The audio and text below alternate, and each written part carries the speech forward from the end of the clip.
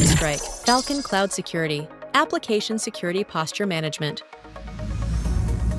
Falcon ASPM extends visibility beyond endpoints and cloud to automatically prioritize the most impactful risks in custom applications.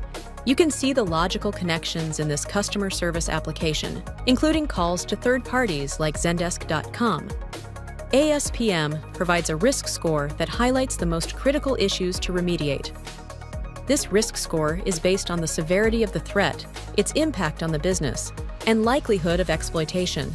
We're looking at a microservice that contains critical security vulnerabilities, processes sensitive data, and is internet facing. This is the perfect entry point for an adversary.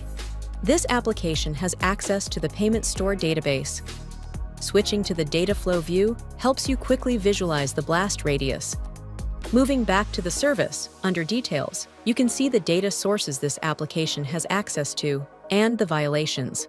In this case, the application is exposing customer data via a misconfigured EC2. On the Data Sources page, you can see the specific information accessed by the application, like names and home addresses. On the Violations page, you can see more details about the violation and also the steps to remediate it. In this case, locate the offending instance and modify the inbound rules to a reduced scope.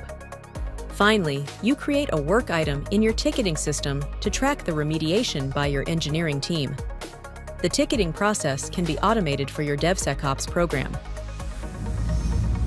Contact us to learn how you can find threats faster with Falcon Cloud Security.